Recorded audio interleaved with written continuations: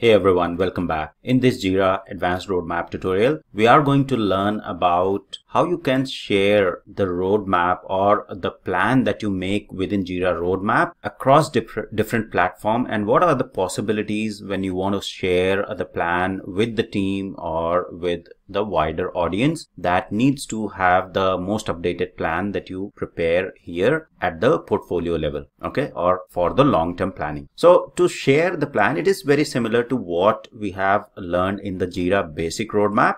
Now in the advanced roadmap, you have this share as, which is very obvious. And I'll discuss some of the plans or the share options that are available. Okay. So you can share the plan as link. So you can create a spreadsheet uh, from a plan that can be opened with programs like Excel. Okay. So you can export to CSV. So let's start with the link. So first one is sharing as a link. So I can copy this link. Okay. And this anyone with this link will who has the access to this plan, anyone with access to this plan will be able to view this plan with this using with this link. Now, apart from this, you can embed this plan. So it will give you the iframe code. So HTML, basic HTML code that you can use to basically you can copy and then embed it into any of the web page. All right. So this is again anyone who has access to this plan will be able to view it and it's read only. Third one which is very good option which is basically you can share it within confluence. So you have this confluence macro which is basically advanced roadmap for jira macro that is available within confluence. And i can just generate the link okay? And then we can you know simply copy the link and then use the macro to insert this plan within the confluence. All right. So say for example example, in this case, let me quickly cancel this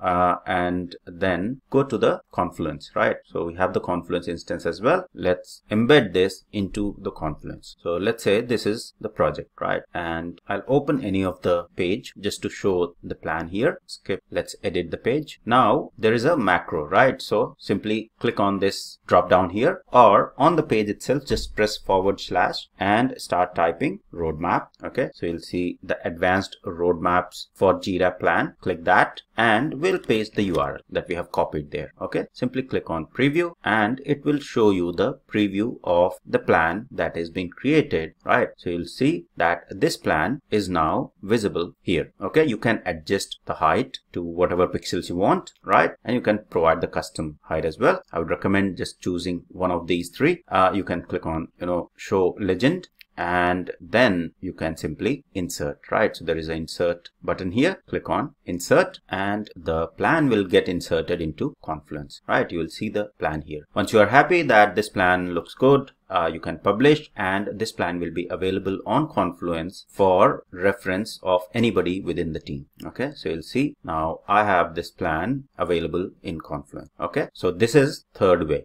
all right now let's go back jira and go to plans. And the last option is the csv right? So this is we have uh, this confluence we have already understood and we have seen the demo for that as well. Now the last option is csv export. So you can create a spreadsheet from your plan okay? And then we can open it in the excel and see how the plan looks like right? So we can also export it into the csv then view it into the excel sheet and see what all issues are there there what are epics work items are there the dates etc that will be available into the excel file as well. Okay? So these are some of the share options that are available and you can easily share among the team. Okay? So basically the confluence embedding or embedding sharing the link or embedding it within any of the website html page confluence or sharing as an csv export file okay so these are some of the ways that you can basically use to share share the plan among your team members and across the wider. So that's all for this tutorial. I hope this was helpful. Thank you very much for watching.